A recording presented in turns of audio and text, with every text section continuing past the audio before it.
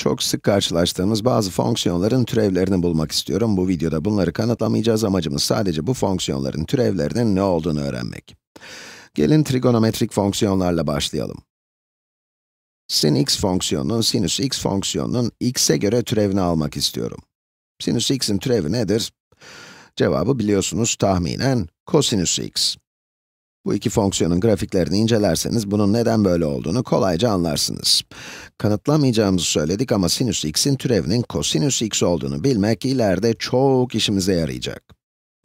Peki ya kosinüs x'in türevi? Evet, kosinüs x'in x'e göre türevi eksi sinüs x'tir. Sinüsün türevi kosinüs, kosinüsün türevi ise eksi sinüs. Şahane. Ve son olarak da tanjant x'in türevi hakkında ne söyleyebiliriz?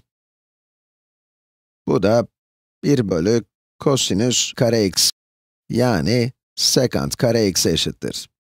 Bir daha tekrarlayayım, bu türevleri öğrendiğinizde hiçbir zaman pişman olmayacaksınız. Evet, trigonometrik fonksiyonları bitirdiğimize göre şimdi de üstel ve logaritmik fonksiyonlarla devam edelim. e üzeri x ile başlayalım. Birazdan e'nin ne kadar karizmatik bir sayı olduğunu göreceksiniz. e üzeri x'in x'e göre türevi Hazır mısınız? Birazdan göreceğiniz şey matematikteki en havalı örneklerden bir tanesi. e üzeri x'in x'e göre türevi e üzeri x'tir. Peki bu ne demek oluyor?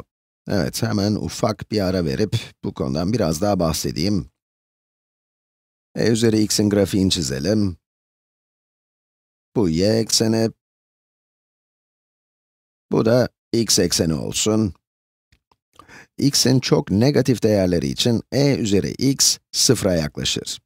e üzeri 0, 1'dir. Evet, bu e üzeri x'in grafiği. Buradan başlar ve büyük bir hızla artar. İşte y eşittir e üzeri x. e üzeri x'in türevinin e üzeri x'e eşit olması ise bize herhangi bir noktada, mesela x eşittir 0 noktasını alalım, e üzeri 0, 1'dir. Peki aynı noktada teğetin eğimi ne olur? Türevi kendisine eşit olduğu için eğim de 1 olmalı. Şahane değil mi? x eşittir 1 noktasına gidersek fonksiyonun değeri e üzeri 1 ya da e'dir. Bu noktada teğetin eğimi de e'dir. Evet, kısacası bu fonksiyon üzerindeki her noktada teğetin eğimi fonksiyonun o noktadaki değerine eşittir. İşte bu sebeple e sayısı matematikteki en havalı sayıdır.